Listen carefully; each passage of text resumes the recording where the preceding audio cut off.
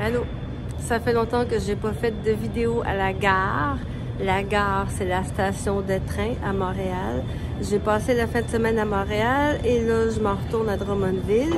Mais euh, j'étais un petit peu frustrée parce que c'est dimanche soir, il est 6h30, donc c'est l'heure du souper et il y a presque rien d'ouvert. Donc, quelqu'un qui veut manger, il n'y a rien.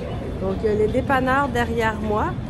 Couche-Tard, c'est une des grosses chaînes de dépanneurs. Là-bas, tout est fermé, incluant Première Moisson, une boulangerie qui a d'habitude des sandwichs, puis des soupes, puis des lasagnes, puis tout ça. Puis il y a le, le Second Cup, qui est un café, mais il y a juste du café puis des muffins. Il n'y a rien qui ressemble à des sandwichs ou quelque chose qui est de la vraie bouffe pour quelqu'un qui a faim pour plus que juste un muffin à 4 piastres. Donc, je trouve ça un petit peu inacceptable.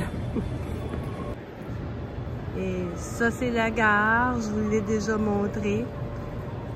Euh, la raison que j'ai le temps de faire une vidéo, c'est parce que mon train est en retard. Comme d'habitude, mon train est toujours en retard. Ah oui, il y a le McDonald's, c'est vrai, j'avais oublié. Pour moi, c'est pas une option, mais le McDonald's est toujours ouvert. Comme ça, c'est un petit euh, resto, une boutique, restaurant que j'aime bien, mais ils sont fermés. Donc, à part le McDonald's puis euh, une sandwich dans le frigidaire du dépanneur, il n'y a rien à manger. Et je vais vous montrer les horaires des trains. Ça, c'est le monde qui attend après leur train en retard. Moi, mon train, c'est le train 28 pour Québec, retardé. Il est retardé de 15 minutes pour l'instant. Donc ça, c'est le monde qui attend le train pour Toronto.